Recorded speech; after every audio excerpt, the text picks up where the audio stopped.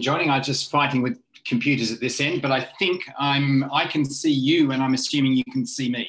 We can, Alec. And you know what? At least you weren't fighting with traffic, so there's a saving grace there. That's right. Good. No, no, no. It's uh, it was just a technical problem, but I've just they they changed my computer yesterday, so I have a new computer which is um which is presenting new challenges for me. But that's all right. That's okay. Good. That's the world we live in now. So Indeed. that means we can all be very, very patient with each other, which is I'm going to exhort everyone to be patient with me tonight as well as I navigate uh, the digital world and this fourth industrial revolution that we're, we're in now.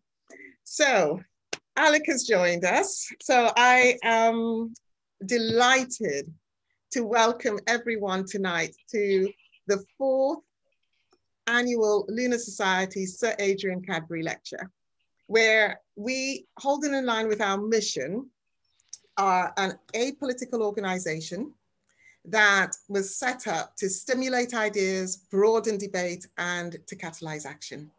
So for those of you who don't know me, my name is Deirdre Labassiere, and I am just so thrilled to welcome you in my capacity as the current chair of the Lunar Society.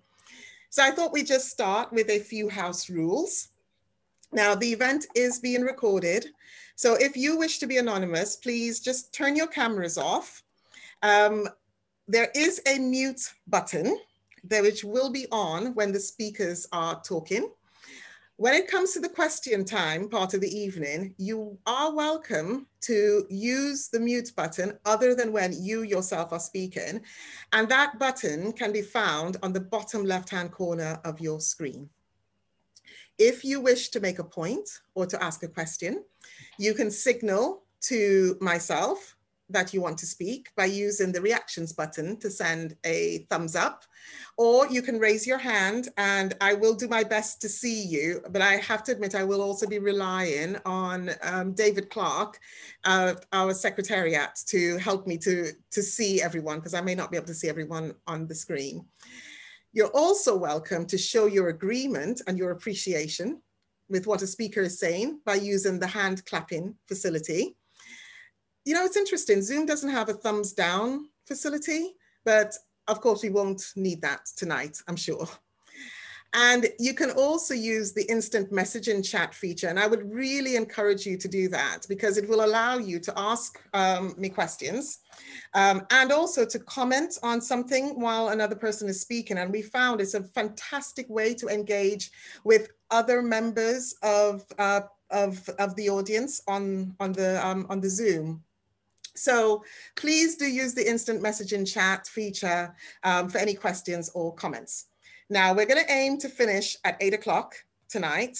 Um, and the last thing that I would say is that given that we are in this digital world, one of the things that we found is that people actually were commenting whilst um, the event was happening on social media. So if you are going to comment on social media, what I would ask you to do is to use the hashtag Lunar Society, use hashtag governance, and use hashtag Sir Adrian Cadbury. If you're going to be tweeting, um, you can always tweet and use our handle at Lunar Soc. And of course, you can um, find us on LinkedIn and on Facebook as well. Great. Oh, I'm so excited. Right. So tonight uh, actually launches two incredible things. We're launching a white paper which arises out of a governance inquiry into the 12 principles of good governance as purported and put forward by the Governance Forum through Dr. Karl George MBE. And we are also honored that Dr. Karl George has chosen the forum of the Lunar Society to launch the Race Equality Code tonight. So without further ado, I think I'll just make some introductions of our esteemed speakers tonight. So I'll introduce you first to Professor Alec Cameron.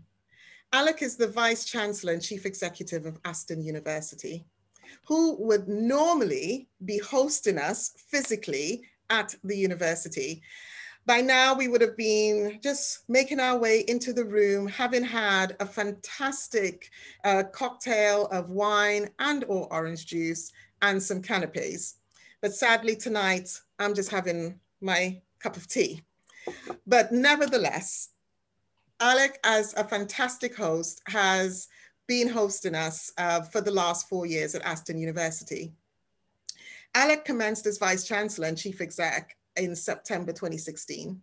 He's a Rhodes Scholar who had a distinguished career in Australia, holding positions including Deputy Vice Chancellor of Education at the University of Western Australia, President of the Australian Business Deans Council, and Deputy Vice Chancellor at the University of South Wales.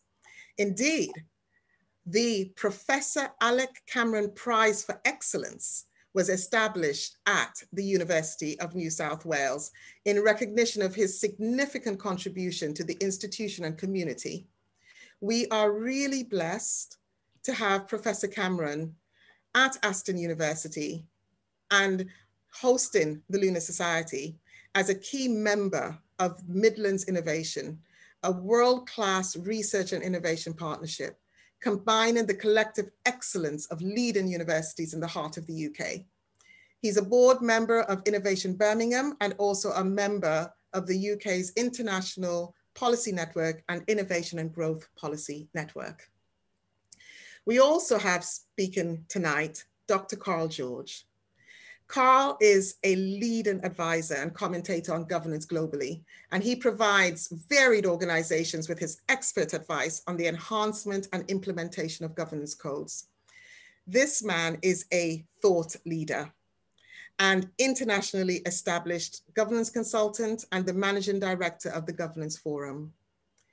Karl created the governance assessment process, which was actually endorsed by Sir Adrian Cadbury and he has had many awards and has a kite mark in governance.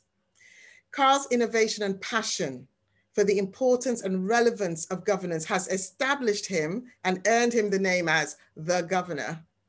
He's the creator of the effective board member programs, which have been delivered across the world.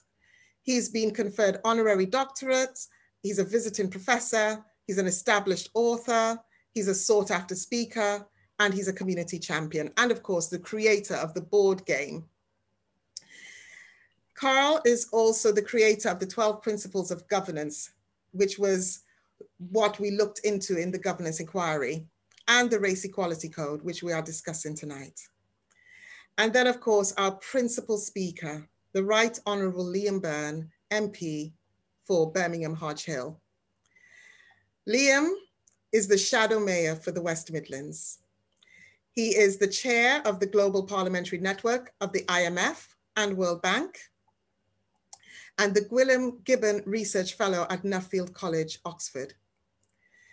A former cabinet min minister, Liam undertook what some might say was one of the toughest jobs in the last Labour government at the Home Office where as Chancellor of the Duchy of Lancaster, he coordinated cross-government programs to combat the great financial crisis. In opposition, Liam served in a number of frontbench positions. He's chaired Labour's policy review. He's founded and chaired the all-party parliamentary group on inclusive growth and served on the Council of Europe. Liam is one of Westminster's leading authorities on China he helped kickstart the Economic and Finance Dialogue, and he's co-founded the UK-China Young Leaders Roundtable. And tonight, he is delivering the Sir Adrian Cadbury Lecture. I wish to acknowledge also the presence of the Cadbury family here tonight. We are delighted to have amongst us the son of Sir Adrian Cadbury, Benedict Cadbury, without whose support through the George Cadbury Fund and the other members of the Cadbury family, the Sir Adrian Cadbury lecture, and indeed the governance inquiry and ensuing white paper would not be possible. So we do thank you. So I mentioned before that Aston University would be hosting this evening in the real world if we were able to be there tonight. Uh, however, we are enjoying our own cups of teas or glasses of wine. And in doing so, I invite you to give a warm welcome to Professor Alec Cameron to address us on the history of this lecture. Alec. Thanks, Deirdre, and I will be quite brief. Um, can I firstly, once again, welcome you to the, the uh, Sir Adrian Cadbury Lecture. I was going to say at Aston University, we are the, um, I suppose I'd say the traditional hosts for this lecture, and I'll go into a bit of background as, as to why that's the case. Um, but notwithstanding the, the fact that you aren't unfortunately on campus with us tonight, um, like so many other events, this is an, an online activity, but um, nonetheless, we are very pleased to be identified as the venue host, albeit the online venue host. I'd like to, to thank our friends at the Lunar Society for inviting Aston to host this important lecture. And I do think it's very apt that this series of lectures is and has been in the past held at Aston University. Like the Lunar Society, Aston University sees itself as a place where inquiring minds from Birmingham and beyond can meet, debate, and come up with solutions to critical problems which are facing it all, us all. We are also, of course, uh, very cognizant that this lecture series is named after Sir Adrian Cadbury. Um, and Sir Adrian has a long and distinguished past with Aston University. Sir Adrian was actually a member of the governing body of Aston University, the University Council, for many years, and was the Chancellor, uh, which is the ceremonial figurehead of the university from 1979 until 2004, so 25 years the university, the, the, the head of Aston University uh, was Sir Adrian Cadbury. Um, he also participated actively in the university. He was um, he taught in the business school.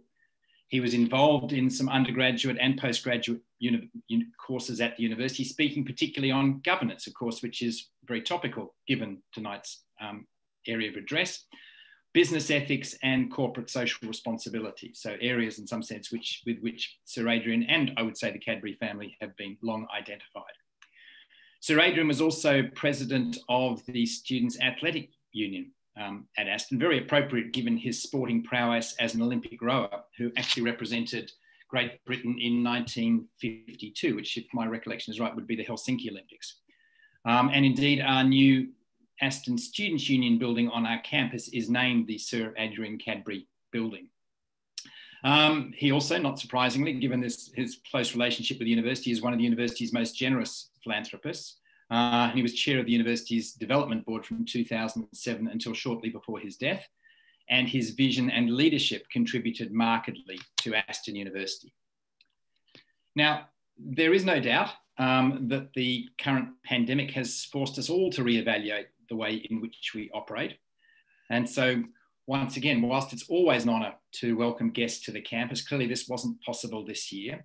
Um, having said that, suffice to say, as a university, we have been operating with our lectures being online now since about March. So, about seven months now, we've actually been operating uh, much of our education in online mode, although we are now in, in what we call a blended mode, where we have some elements of on campus teaching, but nonetheless, much is still online.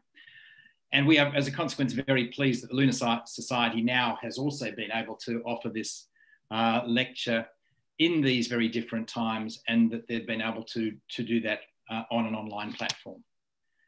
I am also not the, the person who's formally introducing uh, Liam Byrne, MP, um, as our main speaker this evening, but he is very welcome at the university. In fact, I reasonably early in my tenure met with Liam in my office and you know had a, a very interesting and engaging discussion with him. Um, Liam, of course, is going to be talking about the Race Equality Code and why the focus on race is appropriate at this time. And once again, this is something which is very pertinent to Aston University. Um, Aston University has actually the largest percentage population of Black and minority ethnic students of any university in the UK almost 70% of our students identify as, as uh, Black, Asian, and minority ethnic. So uh, we are very conscious that we, we exist within a very diverse city and we consequently are a very diverse university and we are very proud of the mix of students that we attract and the success that we achieve with them. Aston University has recently signed up to the Race Equality Charter uh, and the work in this area alongside our ongoing work with Athena Swan, which is a, a program to recognise good practice in higher education and research institutions towards the advancement of gender equality. Uh, those two elements are central to our embedding equality into all areas of, of life at Aston. And I'm very much looking forward to, to Liam's perspectives because I know not only is he a deep thinker on this, but I'm also conscious that his, um, his seat uh, comprises both, uh, well, great diversity across the area that he is responsible for. So this, Liam, no doubt, is not just a, a philosophical interest, but it's very real in terms of his constituents. Um, but before that, as, as Deirdre has said, um, Deirdre and Karl are going to launch the white paper on corporate governance and introduce the race equality code. So I'm very happy now, Deirdre, to hand back to you. Once again, welcoming everybody to this lecture this evening, uh, Liam and everyone who has come to hear him speak. Uh, but Deirdre, welcome to Aston. Thank you. Thank you very much, Alec. Uh, very much, very appreciated. Um, so as Alex said, we're launching um, the Race Equality Code, but we're also launching the uh, white paper, uh, which was produced pursuant to a um, governance inquiry that we undertook through the Lunar Society. Now, I think many of us here tonight probably might remember 1992. I was quite young at the time, um, and I'm sure many of you share that my youth. um, but at that time, I remember watching television and seeing a man named Rodney King being beaten and being the victim of police brutality in America. And further to seeing that happen, I watched him again giving a um, talk on television, and he said these words Can't we all just get along? And that's a challenge that I think we've been trying to, whether Black, white, Jewish, Asian, Hispanic, we've been trying to answer that question to level up to equality but we're clearly still not there yet. We're at a point in time where we need to be codifying moral, ethical, and cultural norms into the framework of how we govern our organizations. And it's with that in mind that we are going to be hearing from Karl, who will be introducing us to the Race Equality Code, and that we'll be hearing from Liam, who will be delivering this Adrian Cadbury lecture discussing the importance of equality in governance. Now, there have been many momentous periods in, in, history, and just before we came on, Liam and I were actually discussing how momentous we are in this period of history and that we're in this state of uh, parallels of flux and change at the same time. Some of us are actually at a stage in our lives where we may have lived through a few momentous periods of history. And many of those periods were times of emotional, physical, and even indeed spiritual tension. The problems of the world seemed gigantic in extent and chaotic in detail. We're going through that yet again. We're in the middle of a pandemic where we have seen throughout the world a shift in culture in terms of race and ideologies and it's a moment where it seems to be more important now than ever that leaders of organizations make the right decisions, where we must consider accountability for the future. It was therefore within the spirit of Sir Adrian Cadbury, the father of governance, who in publishing the Cadbury Code of Governance in 1992 was very much about securing accountability for the future. And it is in that spirit that the Lunar Society chose to commission a governance inquiry from which we have produced the white paper. So the white paper, which you will all receive in your inboxes after this meeting, was produced further to the governance inquiry, which was set up to discuss whether it was possible to have a set of governance principles that are actually fit for future boards and applicable across multiple jurisdictions. I know, ambitious. This was done in the context of what is called Governance 3.0 and the 12 Principles of Good Governance, which was published by Dr. Karl George of the Governance Forum in association with the Chartered Governance Institute.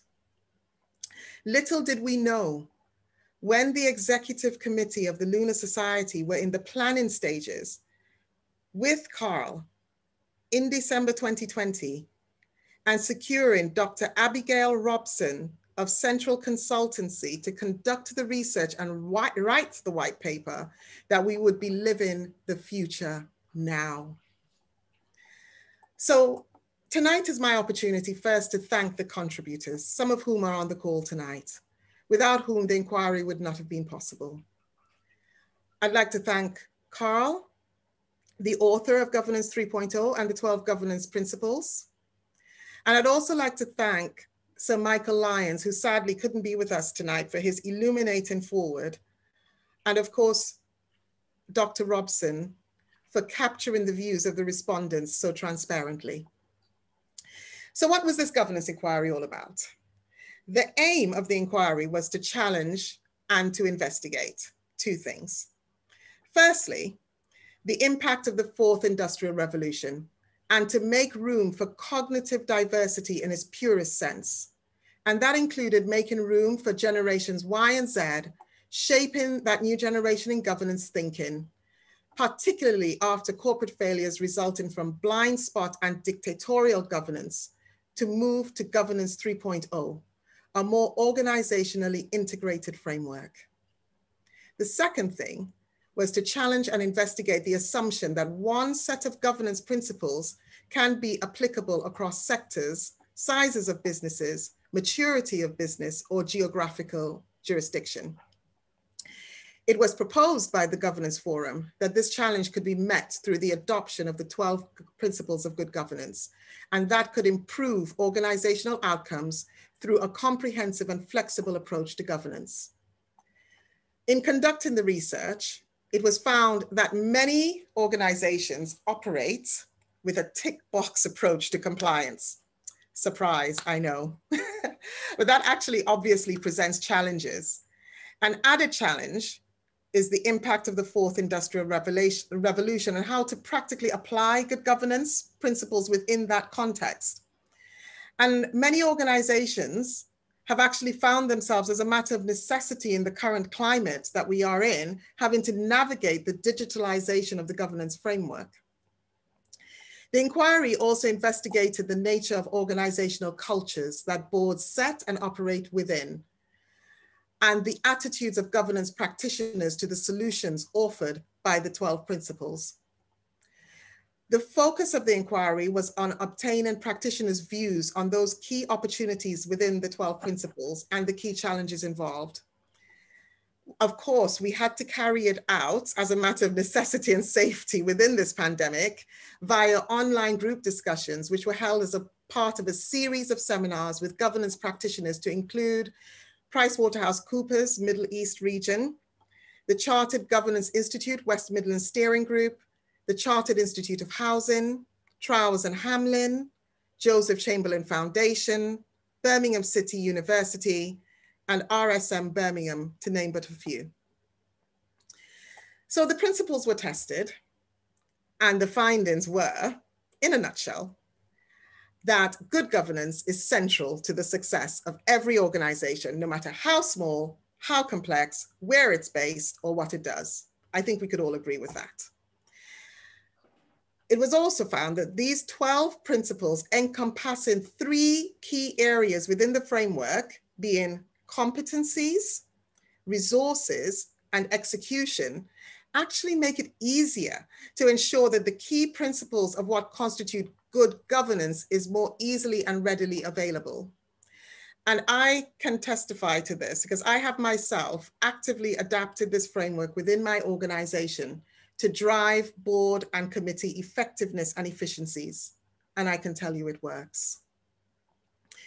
One of the nuances arising from the conversations amongst the respondents was the recognition that society and its citizens can benefit from effective and efficient governance mechanisms, but they can equally fall foul of the challenges faced by complicated, suboptimal, over bureaucratic structures. Greed, nepotism, and conflicting motivations have seen catastrophic failures in the private sector, and that spilled over into society at large. There are so many organizations and institutions that were deemed too big to fail. And the governance of those organizations demand sophisticated risk monitoring and assurance gathering to meet the requirements of the rapidly changing environment that we're in now. Also, it was found that the business landscape is obviously changing dramatically and technology is providing greater opportunities, but it's also disrupting traditional business and governance models, which are struggling to keep up. As the baby boomers retire and Generation X begin to make their mark in the boardroom, it's generations Y and Z that are the new talent pipeline. And indeed, race diversity is key to engage true diversity of thought. Understanding and recognizing that we must make room for them is the biggest challenge since cognitive diversity is becoming business critical. We had some local authorities involved in this inquiry. And we found that many local authorities are juggling housing, education, and social care priorities, and that they're now having to forge new relationships and collaborations at the same time. Whilst juggling priorities and collaborations, with NHS trusts, housing associations, or private sector contractors, local authorities must still ensure that they continue to provide the best care, the best accommodation, security to tenants, patients, pupils, and members of society to avoid being lost. Where then can failure in any organization normally be traced back to? Usually it's governance and leadership. Governance, it is submitted, is not just about adherence to the rules and regulations, and it cannot be designated to a function or a department within an organization. One major finding, therefore, was that governance should be integrated across the whole organization. It is much more than the management of the processes, although that is important. It's much more than having systems in place, although, again, that is important. Governance is about the systems and controls in place to ensure an organization is managed efficiently and effectively. It's about the strategic oversight of the board and their coexistence with the executive, with operational staff, and members within that organization. It's about the attitudes of the board members, the management of risk, the receiving of assurance and standards in public life.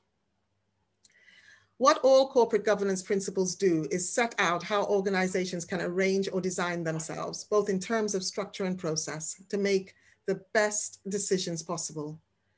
That doesn't mean that if an organization adopts best corporate governance principles, it's guaranteed to make the best decisions possible but it should minimize the risk of bad decision making. It was found that the 12 principles of governance build upon that to support organizations to not just go through the motions of following best practice, to maximize efficiencies and effectiveness to support the building of the good culture and attitude of those involved in the decision making processes. So, on a personal note, I found that this exercise emphasized to me and the other respondents how important it is that we can and should learn from different sectors and taking the good practice and using it to improve what we are doing, ensuring that we are responding to the environmental, social, and governance influences that so many stakeholders, including investors, are insisting upon in relation to our reporting and how we govern our organizations. So lastly, I would like to convey my sincere thanks once again to the contributors, Dr. Abigail Robson of Central Consultancy, Dr. Karl George, MBE, Sir Michael Lyons, and the George Cadbury Fund. And I declare the white paper launched. so thank you very much, everyone. So you should all be receiving, hopefully by the magic of um, technology, you should all be receiving in your inboxes the, um, the white paper. And I promise you it's a, it's a riveting read. So I'd like to now um, introduce Dr. Karl George, MBE. Um, and Karl is, uh, as I've said before, an incredible individual. And, and Karl produced the Race Equality Code, which we are really honored and delighted that he's launching tonight um, through the Lunar Society. And this Race Equality Code had been produced in response to governance challenges arising out of the Black Lives Matter movement in the summer. Its a accountability framework and how it might provide organizations with an opportunity to address the very specific challenge of race and diversity in the boardroom and within the governance structure of organizations informs the Sir Adrian Cadbury lecture tonight. So I'm delighted to introduce you to Dr. Karl George, MBE. Thank you very much, Deirdre. Um, and before I start, I just want to say how privileged I am to be here at the Sir Adrian Cadbury annual lecture. Um, and I've got to thank Steve Walker actually, because I was able to meet Sir Adrian and develop a relationship with him because of the time he served on the board that Stephen was with. And so I'm glad you're here, Steve. Um, and I want to thank the family uh, for allowing us to use today to talk about something that, as all of you know, gets me tingly corporate governance. Um, I'm not going to speak today about the governance inquiry. I'm going to speak about another project that I've been very, very interested in because my lived experience has collided with my professional life, corporate governance, and me as a black man in society that really has made sure that we are here. And yes, thank you to the Cadbury family. Um, let me share my screen. And I am going to share some slides with you, but I'm not going to be focusing too much on killing you with death by PowerPoint, as they say. But I think some of the visuals are very important. And the first thing I want to say now is the time to dismantle structural racism once and for all. It's long overdue the need to tackle the woeful lack of racial diversity in the leadership of many organizations in our city, in our region, around the world even. And now it's getting the time and attention that it deserves. Only today I was reading about 1% of the senior leaders in HSBC are black and similar statistics in NatWest. We hear about 70% of FTSE 250 companies not having one black person on their board. And football, 30% or 30 odd percent of the players are black, only 4% in leadership. Housing, an, an area that I do a lot of work in, where we find that something like 40% of the people on not white, but 6% are in leadership. You see, I believe the solution, and the reason I get tingly, is somewhere in governance. I believe the solution to all of this is somewhere in systems. I believe the systems that direct and control from that first definition of corporate governance given by Sir Adrian Cadbury in that Cadbury report, that governance is the system by which companies are directed and controlled. And if we want to change some of those inequities, I think we need to tackle it right at the top of the organization and we need some radical change and we need no more excuses because we can get a solution. So I've got to be careful because I get passionate about this and I get passionate about governance. And when the two things collide, who knows what's going to happen? there's a term that I heard first mentioned when I was studying Enron. Do you remember when Enron, about 10 years after Cadbury, um, world's, one of the world's largest utility companies, where the judge was talking to Kenneth Lay, the chief executive, and he said that you displayed willful blindness. This is where, if there's something that you should have known, something that you could have known, but you chose not to know, then you're still liable. And as I reflect on willful blindness and I reflect on where we are with racial inequality, I'm also minded of the term willful ignorance.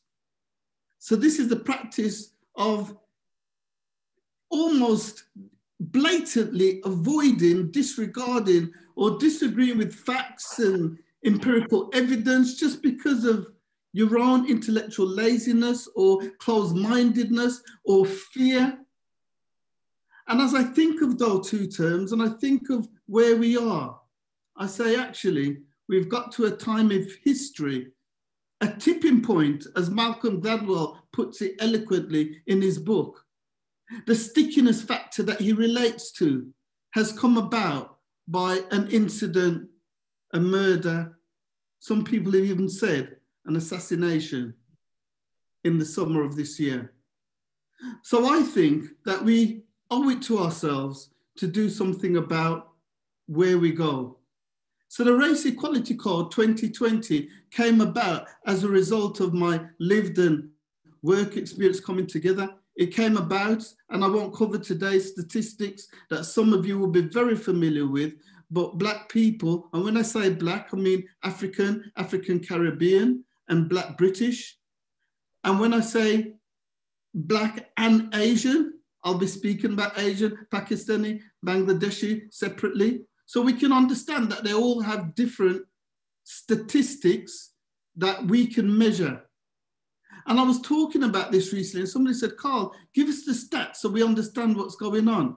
But there's been loads of reports, that's a technical term. There's been loads of statistics. I'm sick of all of that now because we all know if we're not willfully ignorant, if we're not going to be willfully blind, we know that at the bottom of all of those things, stop and search, six times more likely if you're black, um, longest prison sentences, coming out with your um, your degree. You're not going to get into a Russell Group university like your white counterparts.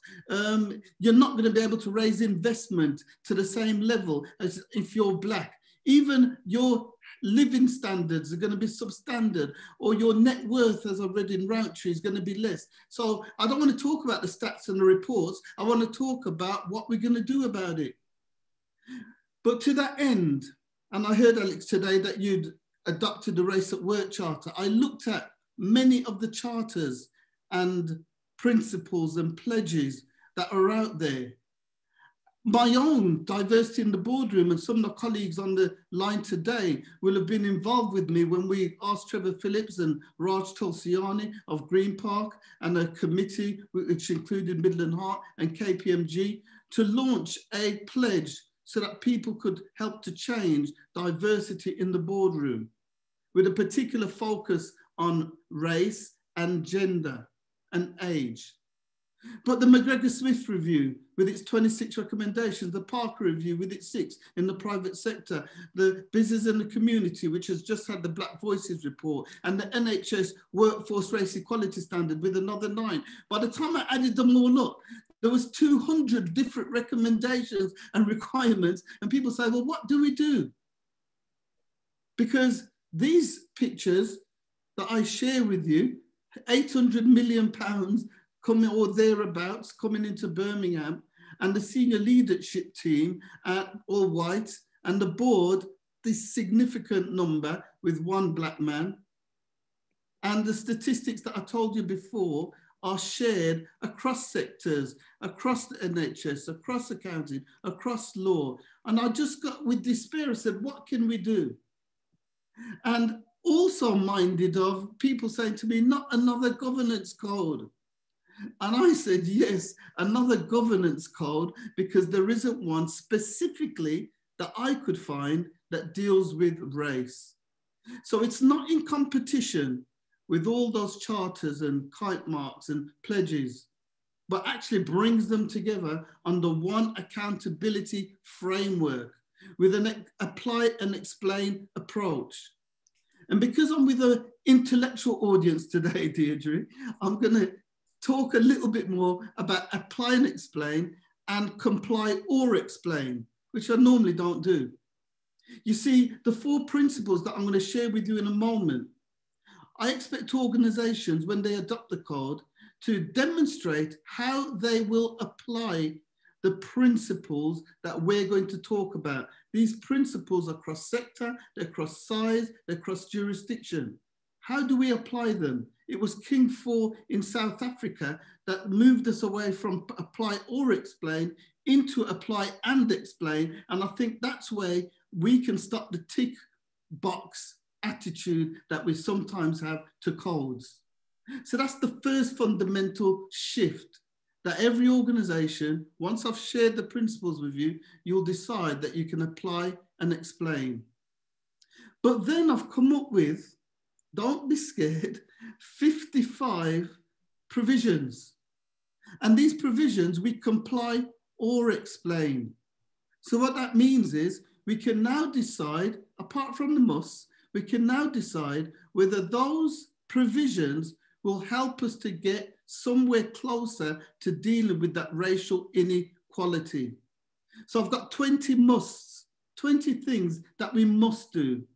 Then I've got some shoulds, and then I've got some coulds. I say I, but I'll share with you the framework of people that have helped to develop the Race Equality Code. So we comply or explain to the 55 provisions, but we apply and explain the four principles. And hopefully that is straightforward and makes sense. I have to give my thanks to a number of people and organizations and campaigners, um, the West Midlands branch of the Chartered Governance Institute. I see the previous chief executive is here, Simon. Um, thanks for attending. Um, I note that we have a number of early adopters of this code who our faith have said, we know about the code, we know it's new, but we're going to make sure that we are reflecting like the West Midlands Combined Authority, like the Birmingham City Council, like the Greater Business Chambers of Commerce, like Birmingham's Women, Birmingham's and Solihull's Women's Aid, um, and like Trident Group and Nehemiah Housing Association, a number of organizations that have said we're going to adopt this code and Doncaster NHS Trust. There's a focus group of people that I've spoken to individually and diversity consultants who've been working in this area for something like 35 years. And just to demonstrate that this is in competition with any of those codes, and you can see Lord Simon Woolley there, who's an advisor to me personally, but we see these people here who've reflected and been on the Parker Committee, or Yvonne who headed up the Workforce Race Equality Standard, or um, when we look at Caroline Waters, who has who was currently interim chair at the Equality and Human Rights Commission, all these people, and in particular, Sandra Kerr, as we mentioned, the Race at Work Charter with business in the community, bringing all of these people together so that we could get one framework. And the principles that we adopt, I'm going to share very quickly with you, are that we are talking about Black. And as British people, we sometimes feel a little bit uncomfortable talking about race. And when we say diversity sometimes, over in 2011, Lord Davies did some great work in terms of starting gender diversity. And we've had campaigns, not quotas, but we've had campaigns over those last 10 years, and we've seen a movement in gender diversity. But many of the codes that I've seen and, and quality marks talk about diversity, but mean gender a lot of the time. And I'm apologetically, unapologetically speaking about Black, as I said before, because those statistics that bear me out demonstrate that we've got to make a move now, because this hasn't changed much in the last 30, 40 years. You see, we've got a responsibility of organizations to do something about the structural differences that have been created by the systems that we're working to. And it's not good enough, unfortunately, to be non-racist. We have to actually be anti-racist. If we think about the governance that I mentioned before, because if governance talks about systems and the systems are producing inequality, what we're gonna have to do is go back and change the systems, change the structures, change the norms so that we can get a different outcome. And how can you have integrity if in dealing with leadership unless you look at yourself first? I showed you those pictures. So zero tolerance and the values that we have to espouse is that we're not taking black people on because it's a token and it's tokenism. Actually, there are people there with talent, with ability, who think differently, have the skills, and are able to contribute effectively. And all we're saying is give us an opportunity. Give us an opportunity to be able to contribute. The reality is this has been going on for 30, 40, 50 years. And what we've got to do now in this time in history, and we, have got that stickiness factor that I mentioned before that gives you a tipping point. We've got the all of the parameters now for us to make a change. I mentioned King 4 before, and, and I, I, sorry, I apologize because I, I get tingly about corporate governance codes. And that's one of the codes that I really, really think is a groundbreaking code. But it reminds us of triple context. It reminds us of John Elkington's triple bottom line, which says that we don't just focus on profitability, we can focus on the people and the planet as well. And every organization talks about and needs to understand that they have this dual, triple nature.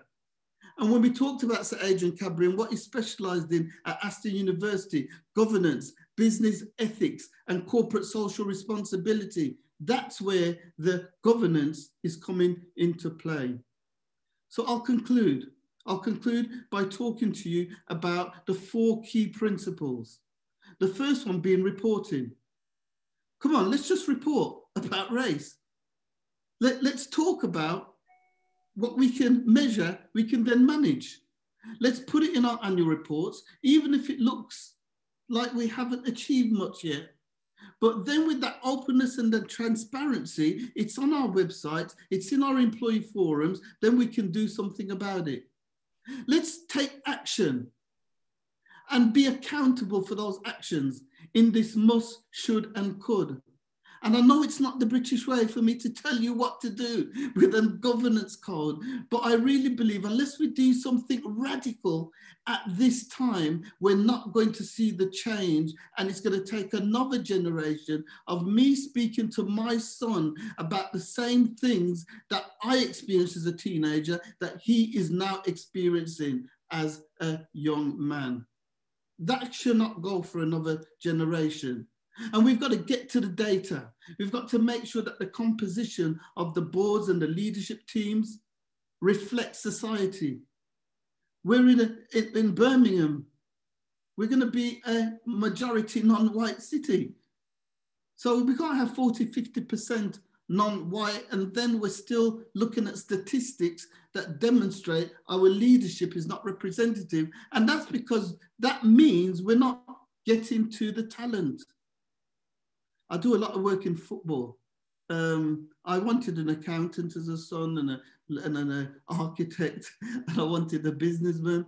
Um, I got one that's into drama, another one that's a, um, into entrepreneurialism, which is good, and then one that's a footballer.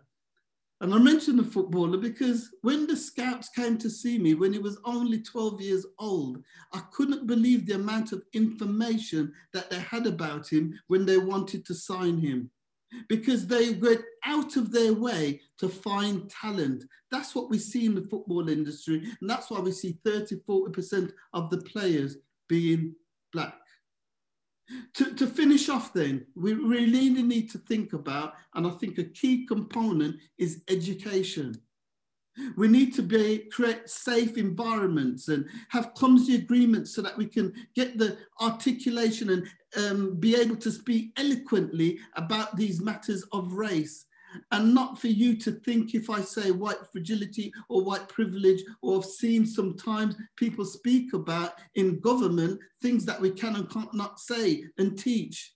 We've got to get the language right and get the understanding of what unconscious bias training may or may not be able to do and how we work together collectively to change the environment.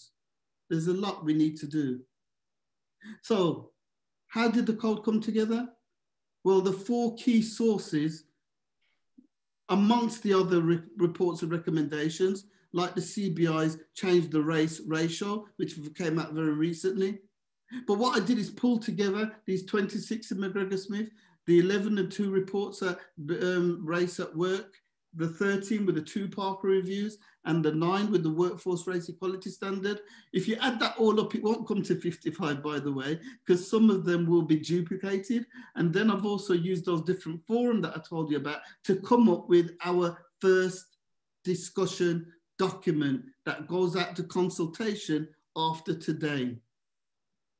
I'm so excited because in the spirit of Cadbury, um, Deirdre mentioned I travel all over the world promoting corporate governance. I used to do it as the accountant He used to get tingly about numbers, but now I'm the guy who gets tingly about corporate governance. And I'm so proud to be able to say I'm from Birmingham when people say to me, where do you live? Which part of London do you live actually? And I say to them, no, I live in Birmingham. And they say to me, why would you do that? But one of the reasons I can tell you that I'm so proud of when I speak about Cadbury and I speak about our UK corporate governance code now, that it is recognized and respected all over those 11 countries around the world that I've taught in. I see us doing a similar thing with our race equality code, a principle based framework that in three simple steps we can adopt. We examine those drivers that I mentioned to you as collective organizations to see where we stand. We apply and explain against those four principles, and then we comply or explain on a must, should, could basis. So, fellow members of the Lunar Society, those of you haven't joined, um, we need you to get your memberships up to date. Um, and I've been told told about that. I hear you, Deirdre. Um, but if we're not part of the solution, are we part of the problem?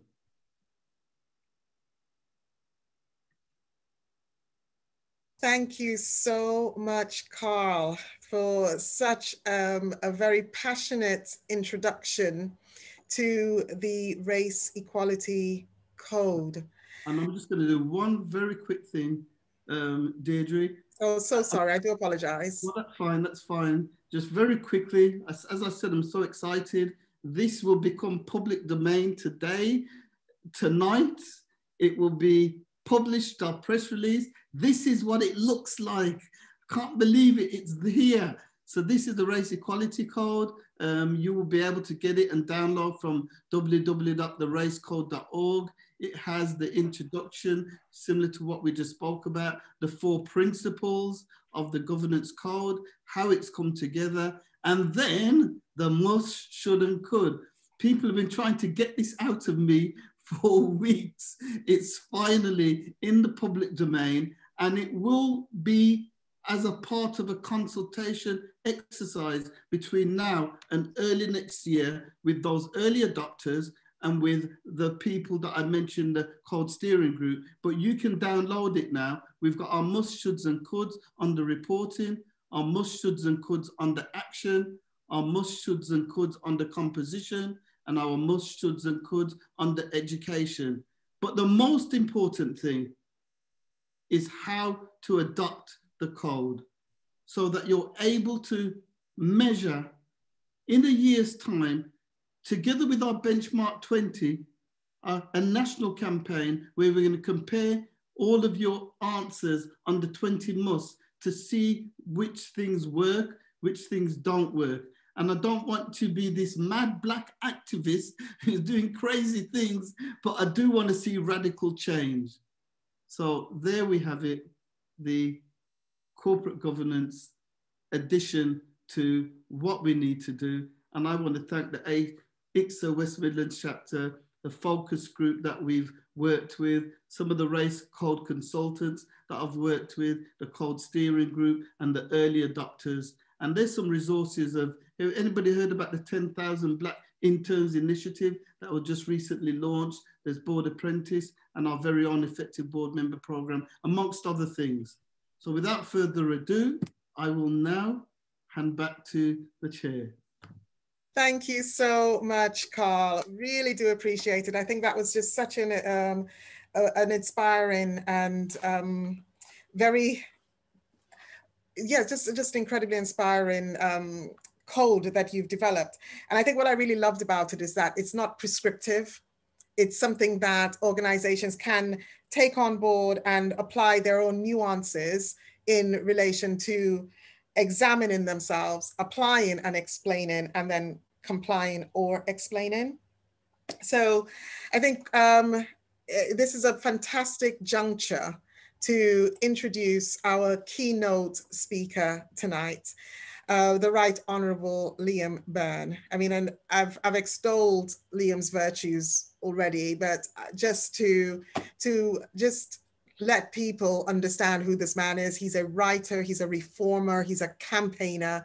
He's the Labour MP for Birmingham Hodge Hill, which is a very diverse, has a very diverse demographic in, in Birmingham. And he's a former cabinet minister who served in the Home Office, number 10 Downing Street, and with Her Majesty's Treasury. Liam's going to be addressing the issue of race and diversity, and he's going to be talking about why the Race Equality Code is so important and why the focus on race is appropriate at this time, and consider not excluding wider diversity. So I hand you over to Liam Byrne. Um, Digi, thanks very much, and uh, good evening, everybody. Um, it's a real privilege, actually, and a real honour for me to um, to follow Karl. I feel very much like an afterword um, tonight, and so uh, I'm, I'm, sorry that you've had the main gig, and and now you've got to listen to me um, for a few minutes to follow that magnificent presentation up. Um, I was really privileged to uh, be able to spend a bit of time with Karl um, uh, a few weeks ago. Um, I think the code is is fantastic. I'll do whatever I can uh, to support it. But the uh, the case I want to, to make to you tonight, and, and the reason I was happy to come along and, and speak really, um, is because I think that we should lead the implementation of this code from here in Birmingham in the West Midlands. And in so doing, I think that we should set out to reclaim our mantle, a mantle which we have lost, uh, to reclaim our mantle as the pioneer of civic capitalism. And I want to rest my argument tonight on um, a story about the past, uh, an analysis of the future, uh, and an argument about how we in the here and now uh, can build a different kind of future um, based on the inspiration um, of our past. So um, let me start with a word about our past because um, it's a great honor for me to speak at this Adrian Cadbury lecture tonight. Adrian uh, was a magnificent rower. Uh, he was a magnificent business person, but he was a reformer. He saw the world as it could be and argued that things should change. And in that spirit, Adrian was very much um, in keeping with the best traditions um, of our city. Now, I think that Matthew Boulton would have welcomed what you're doing here tonight, Deirdre. So, um, as many of you will know, as members of the Lunar Society, uh, the great philosophical feast that happened at the time of the full moon. Um, it, it, sort of started early and, and, and, went on late and often carried through into the next morning. But it brought together some of the best innovators, entrepreneurs, scientists, and thinkers in the world who wanted to do things differently in exactly the way that you are here tonight. So um, long may this tradition, this new tradition of a, of, of a digital philosophical feast continue. Um, perhaps not late into the night and into tomorrow morning, but um, uh, at least until eight o'clock. So I want to start my story with Boulton because the last time um, I came to talk to the Lunar Society, it was to uh, it was to launch a book called Dragons, which is um, a history of our economy uh, told through the lives of 10 of our uh, greatest entrepreneurs. And obviously, being from Birmingham, Boulton had to go in there. Um, but what Boulton helped do, together with James Watt and Wedgwood and many of the people that worked with him at the Soho manufactory, um, was not just help spark the Industrial Revolution, uh, they helped spark a new tradition of civic capitalism. So when the Soho manufactory was open, Boulton was amongst those who thought about factories, the earliest factories, in really imaginative ways so that they were places of, of great safety and welfare. So the walls were whitewashed. He, he worried about uh, the ventilation so that there was uh, good air. Um, there were good weekly wages paid for even the most humble workers there on a par uh, with skilled uh, craftsmen. Um, up there, a pound a day uh, for a skilled person. Um, he started the first insurance scheme uh, for workers, the Soho scheme. And that was just part of obviously what he did as a civic entrepreneur in the city, the creation um, as a partner in the canals, um, the pushing forward of the assay office, um, the creation of, of the mint. Um, it's no surprise that when he died and, and when he was buried, um, the whole city turned out to mourn. There were 10,000 people uh, who lined the road during Boulton's funeral. Um, and it was actually uh, James Watt's uh, son uh, who worked for the business uh, who wrote that after everybody spent a little bit of time drinking the memory of their departed benefactor, standing in his silence, they all repaired to their respective homes, and not a Soho man was to be seen upon the road for the remainder of the day. It was a, an incredible uh, appeal that he built as that great civic entrepreneur. Now, we were not alone in this great reform program. Uh, we did have some competitors up in Manchester. In fact, in, in May 1789, we sold, Boulton and Watt sold their first steam engine to somebody called Peter Drinkwater. He was the first textile merchant to build um, a steam powered factory up in Manchester. Um, and his factory manager was somebody called Robert Owen, who then obviously went up to uh, Glasgow, pioneered in New Lanark Mills um, some, some very powerful ideas that have still uh, helped inspire uh, labour thinking um, down to the day. But the reason that we could lay claim to the leading uh, center of civic enterprise is because of what came after Boulton, and in particular, the revolution that was instituted by George and Richard Cadbury from the 1860s onwards is what I think really enshrined our position as the kind of epicenter um, of a different way uh, of doing business, a kind of doing business that was in sharp contrast to the many of the worst excesses of Victorian capitalism at the time.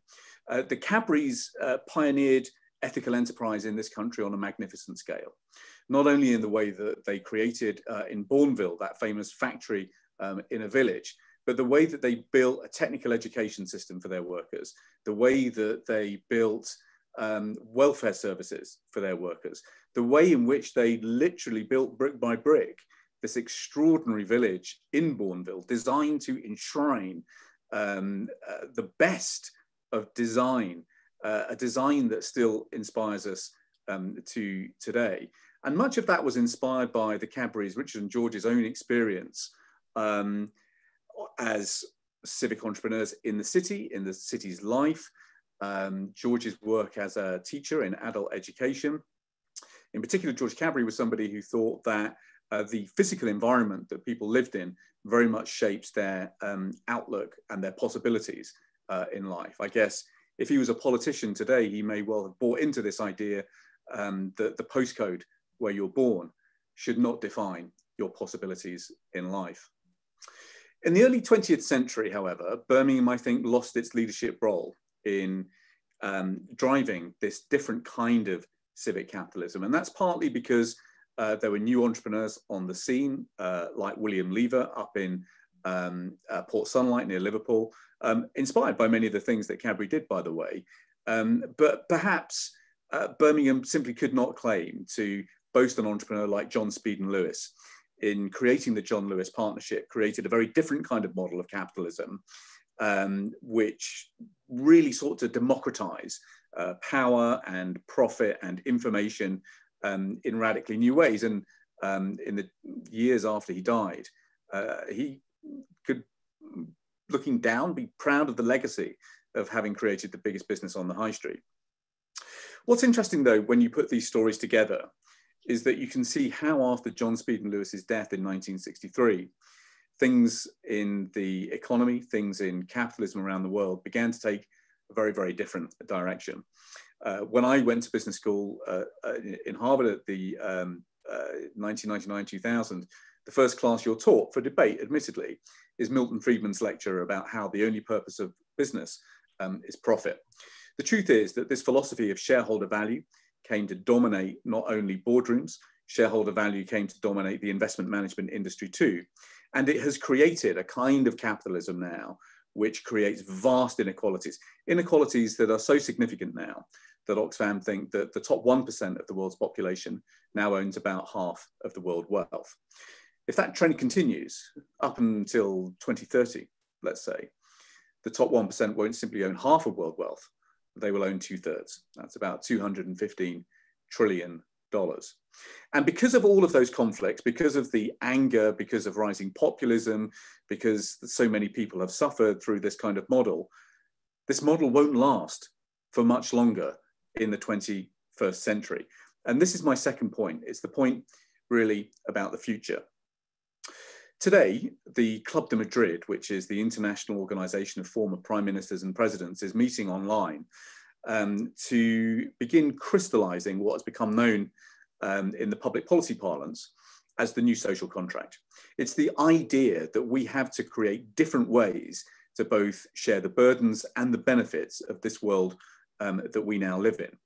And the point that I often make in these talks is that uh, the idea of the new social contract is, is very nice. It's time to move it, however, from poetry to prose. We've actually got to start writing down what are the rights that each of us as citizens should enjoy in the 21st centuries? What are our responsibilities uh, to each other? What are our responsibilities uh, to the planet? Kate Raworth is amongst um, progressive economic, uh, economists who is doing a fantastic job in Amsterdam at defining what rights and responsibilities mean for citizens of the city if I'm successful next year, we will try and bring Kate, Kate's approach uh, to setting rights and responsibilities here um, to the West Midlands. Contracts, however, have got to be paid for. And so as part of the debate that we have to have over the next couple of years, we've got to think radically about a different agenda for tax and crucially, a different agenda for inclusive capital markets. And this is where we begin to bring into focus the extraordinary opportunity uh, of Karl's work and the white paper uh, that you have launched uh, tonight. If we're to mobilize investment in kickstarting the economy through what will be the first global, the biggest global crash since the 1930s, we have got to channel money into infrastructure and businesses that do good, businesses that help build stronger societies, businesses that are serious about equality. The potential for this is enormous. Around the world, there is now $35 trillion under management in long-term investment management funds. We here in Britain have just hit a really important milestone because thanks to auto enrollment in pension schemes, we now have 12 million pension savers. I've just finished a, a piece of work with the Centre for Progressive Policy and the House of Commons Library, looking at how that will change long-term savings in this country. And it turns out that the average pension saver, that's the average worker, will have at peak about £72,000 of equities in their pension savings portfolio. But right now, it is impossible for us as pension savers to make sure that we're investing that money in companies that aren't holding down wages, dodging their taxes, polluting the planet, or doing the wrong thing when it comes to race equality. This opportunity, this frustration, this paradox will soon become obvious to people. And as people begin to understand that they have this powerlessness about how their hard earned savings are invested, they will begin to demand change. What will then ensue is a wholesale overhaul of corporate governance, of fiduciary duties, of financial reporting, and the way that the investment management industry works.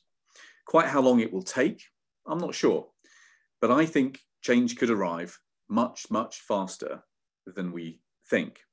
I would like to lead this corporate governance revolution, this corporate governance revolution that is required to democratize this great new opportunity from here in Birmingham and the West Midlands. And this is my third and, and final point, Deirdre. It's to bring the focus back to the code that Karl has so brilliantly introduced. Given our traditions in this city and in this region, we were the epicenter of civic capitalism. It was a standard that we set, it was a leadership that we lost. But given what is coming, there is a demand for this kind of leadership here again today. And Karl's work and your work, Deirdre, begin to show us how we can begin to map out this different kind of future. The final point I want to conclude with is the urgency of this politically.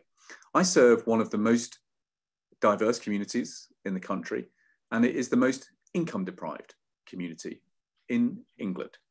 It is three miles away from those towers uh, that are being built in the city centre.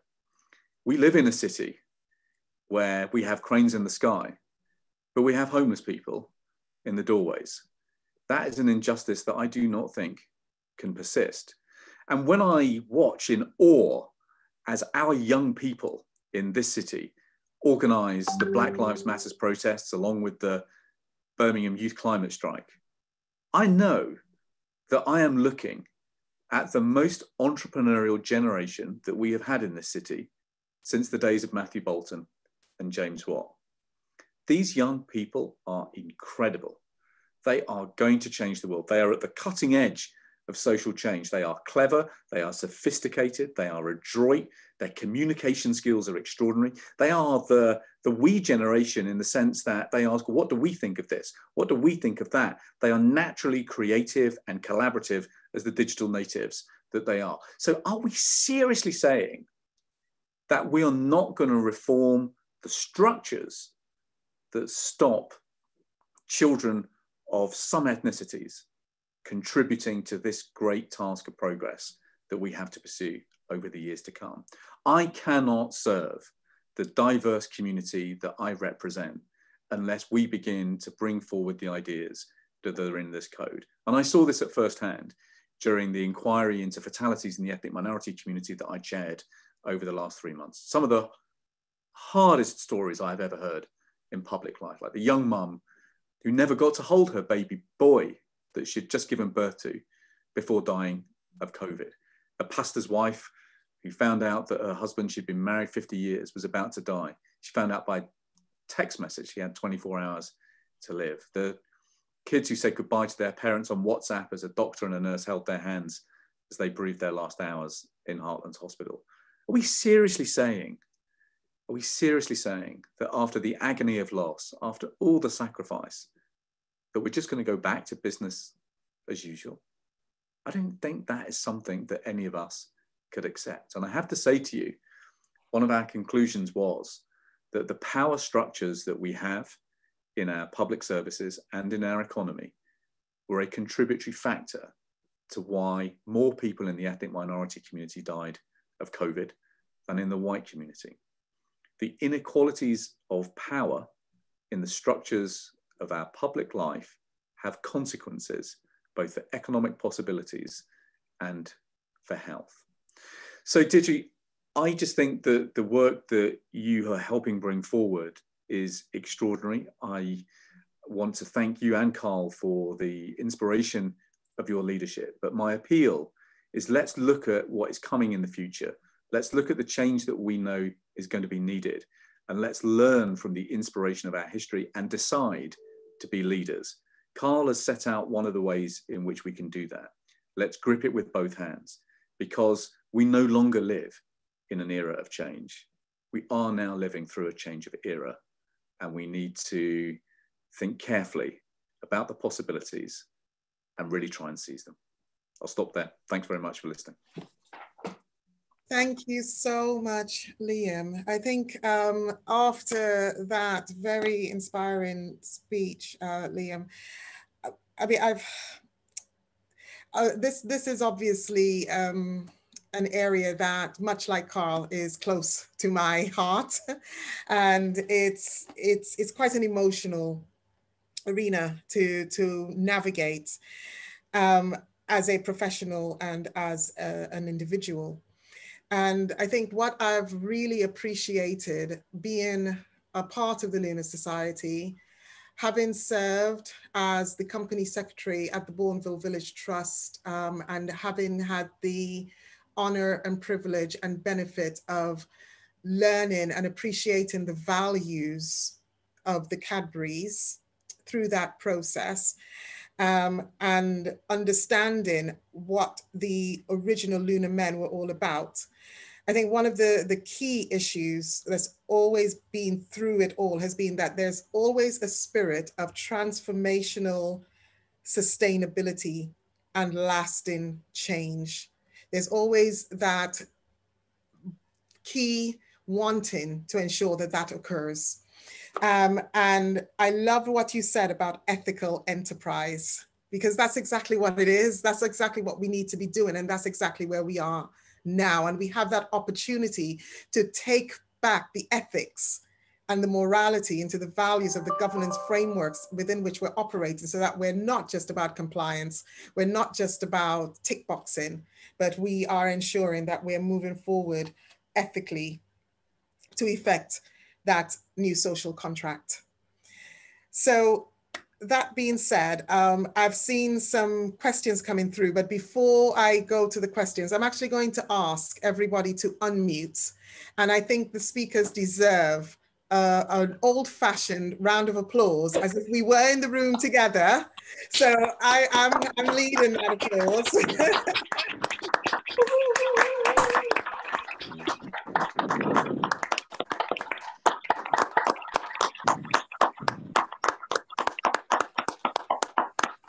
Thank you so much. And you know what's been wonderful about doing that applause? I've actually seen everybody's pictures and seen everybody coming up. This is so wonderful. And you know, I'm, I'm actually just going to say very quickly before we move on that I will not apologize for the fact that at the, the first Lunar Society event that we can have where we're all meeting together, I will hug people so I am not going to apologize for that. So if you see me come to hug you, just just embrace me as well. So um, it's now 7.51 and I did say that I wanted to, we were going to finish at eight o'clock, but I have had some private uh, chats asking if we could just maybe move it to just five minutes after. So we're going to take about 10 to 15 minutes for questions and comments um, to the, the speakers. And then um, I will close by just doing a, a, just a short wrapping up and, and leaving the last word for Liam and, um, and Karl. So I've seen um, in the chat, we've had a question from Patricia McCabe. And Patricia, I um, I don't know if you'd like to unmute yourself and ask the question or whether you'd like me to ask for you. I'd like you to ask for me, please. oh, okay. so Patricia has asked, um, is it time for Birmingham to regain its leading role with race equality at the center? So I'll put that to Liam first. Yes, without a doubt. And um, we can do this in two ways next year. So you know, I've, I've said to Karl, you know, look, if, if, if, I'm successful as a, as a public leader next year, we will incorporate it into what the combined authority does. Um, but second, we will try and um, kind of put the ripples behind it by asking um, the public sector across our region, which spends, I don't know, north of 16 billion a year. Um, we will ask the public sector to only purchase goods and services from organisations that adopt the race code. Um, and I just think that you know, this is one of the things that we should be known for. Um, I, don't, I don't know if Karl is going to go for this or not, but I mean, I just, I, I, I, would love it to be known as a, as a thing that was made in the Midlands. You know, I, would love to have that kind of, um, uh, that hallmark on it, I think, because you know when the Commonwealth Games does happen, we're going to have a billion people watching us, and we better be ready with some good stories to tell. And I would love this story to be one of them.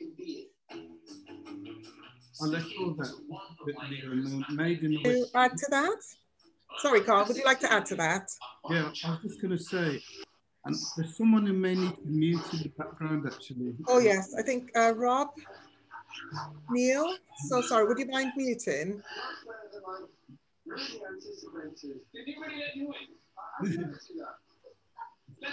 sorry, Rob? Yes, I was saying that the the made in Birmingham, made in the West Midlands, definitely it's one of the things that we're really proud of, trying to make sure that we have something that we can demonstrate is like we've seen in the past, is leading and Birmingham leading. And I think it's a moment in time where we've got a topic area that we're learning agreements and come together and here's the topic that we can learn, learn on. Okay, thank you, Karl. Thank you. I think we've, yes, so we've also had a question from Peter Borg Bartolo, um, the Vice Chair of the Lunar Society. Peter, would you like to ask your question? Um, yes, um, hang on uh, basically the Lever brothers.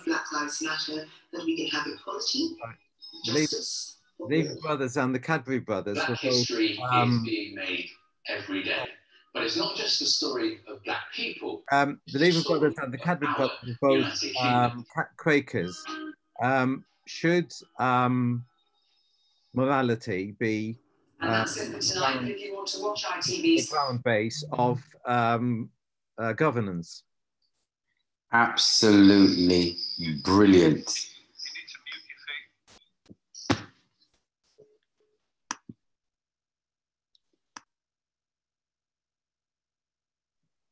Excellent.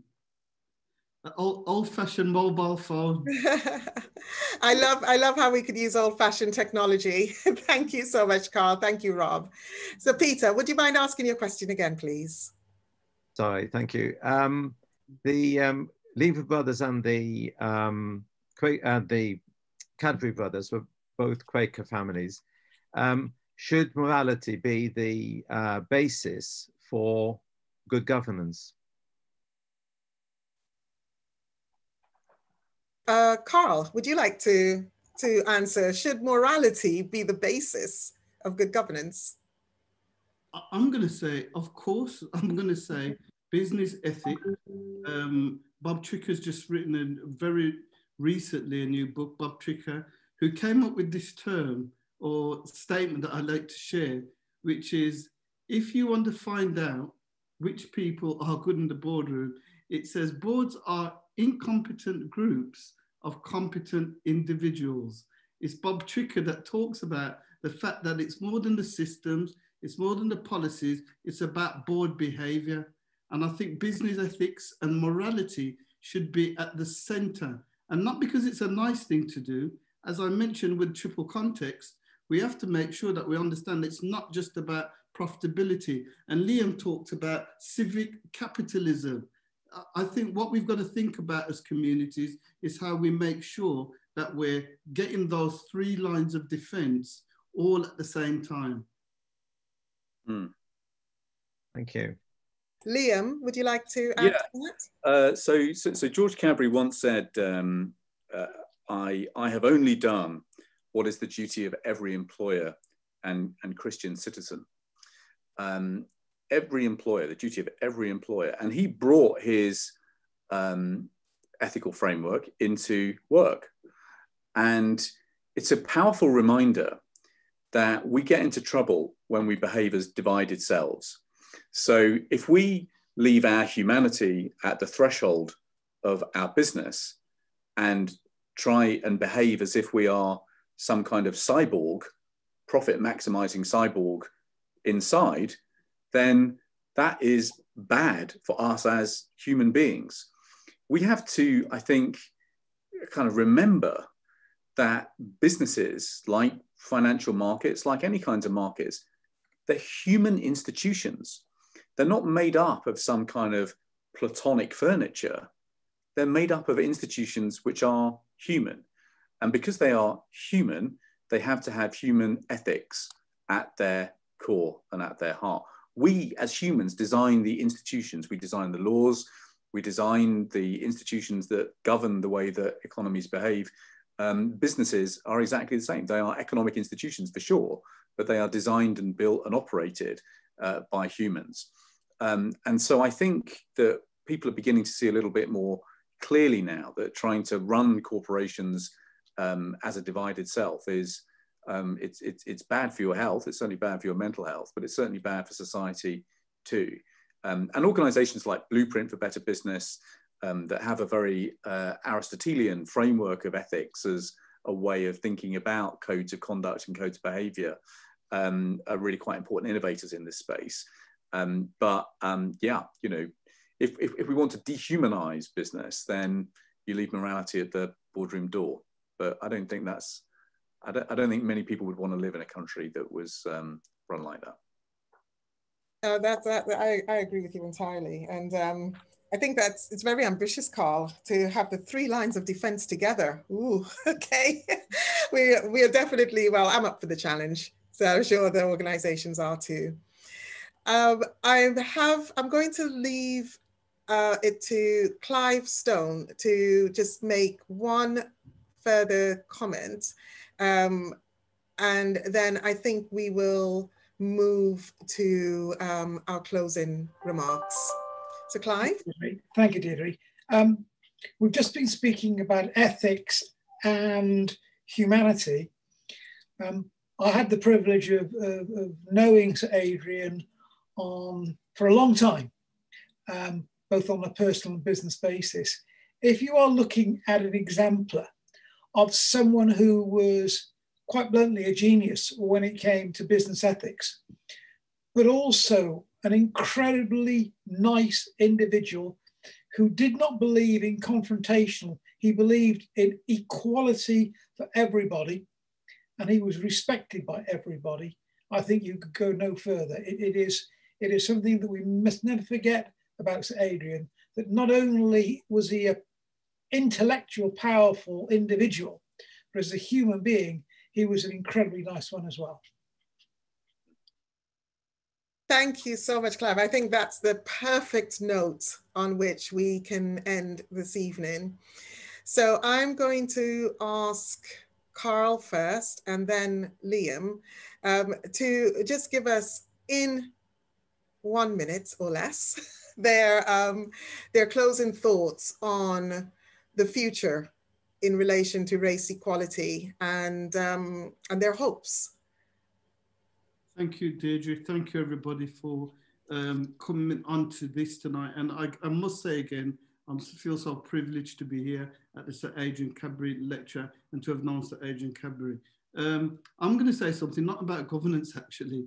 I'm going to say my latest blog, I've said I'm going to call it You're on Mute. Um, I'm going to change it now, and it has gone out. It has gone out. It goes out tomorrow, and it's called "You're on Mute." So have a look for it. My monthly blog. But Rob, I'm going to change it to "You're not on mute." so that's going to be the new catchphrase for me. You're not on mute, and I'm going to leave you with that. Thank you, Karl. Liam. I um, am just going to kind of underline the importance of this. I'm going to share um, uh, the, the, new digital platform for the Parliamentary Network on the IMF and the World Bank that I launched uh, a couple of weeks ago um, at our annual meetings because the stakes are really, really high. Um, the truth is that in the next 10 years, we're not just going to have to try and steer a recovery uh, from COVID. Um, we're going to have to combat what I've called the three rises the rise in temperature, the rise in technology, and the rise in trade conflict. And each one of those um, movements is going to be incredibly difficult politically to navigate. And the only way that we are going to be able to get through those that, that labyrinth that lies ahead is if we find good ways to stick together and maximize the contribution that each of us is empowered to make to this great business called human progress. And unless we address the structural racism that we have in our country, we deny ourselves the contribution of millions of people who have just so much to give and to offer, and whose contribution is mission critical to us navigating the changes that are ahead. So the stakes are high, um, and let's invent the solutions here in Birmingham. Thank you very much, Liam. You know, I, am just so um, I'm, I'm I'm thrilled and excited and and so pleased with how the evening has gone. And I think everyone will agree with me that not only was it um, inspirational and inspiring, it was very honest, very transparent, and very robust, very much in keeping with the traditions of the Lunar Society and with our views on the future, keeping in line with Sir Adrian's accountability for the future and certainly the Lunar Society's heritage for the future. And with that being said, I would very much welcome those of you who are not already members of the Lunar Society to join us because we are on a movement of transformational change. And this organization has been this way from the moment of its conception. And we don't want anybody left behind. And we certainly want to, to have that intelligence capital to effect change like Liam says and like Karl says, from here in Birmingham. I mean, you can tell from my accent that I'm not a Brummie, but I would like to think that I'm an honorary Brummie. And certainly when I moved here, I realized very quickly that I was in the center of the universe. So I would very, very much um, love to, to welcome those of you who are not members. And I very much do appreciate those of you who are members for the incredible work that you have been doing, particularly in this COVID period. We've had many events online. We've had huge participation and indeed even in our newsletters the the level of participation uh, in in the newsletters has been incredible so i do thank you we will be um, taken a slight hiatus over November, but we will be coming back in December with a number of events, including our Matthew and Boulton um, lecture. And that's going to be incredible. And as I was discussing with Liam earlier, um, hopefully we'll have an annual dinner in the spring when we can all meet together. And I promise you, I will be doing those hugs. So I just it's left for me to say again a heartfelt thank you to our speakers, a heartfelt thank you to the George Cadbury Fund and the Cadbury family for making this event possible and for opening up themselves to allow us to celebrate Sir Adrian Cadbury in this way tonight. And a heartfelt thank you to Aston University for continuing to host us even in this virtual world. So everyone have a fantastic evening. Safe journeys to your kitchens or to your hallways. and I very much look forward to seeing you again soon. So lastly, I will just ask everybody to unmute. You can say goodbye, you can clap and say goodbye. Robert saying Bye, everyone. Bye. Bye. Bye. Bye, everyone. Goodbye. Goodbye. Bye-bye. Bye, everyone. Goodbye.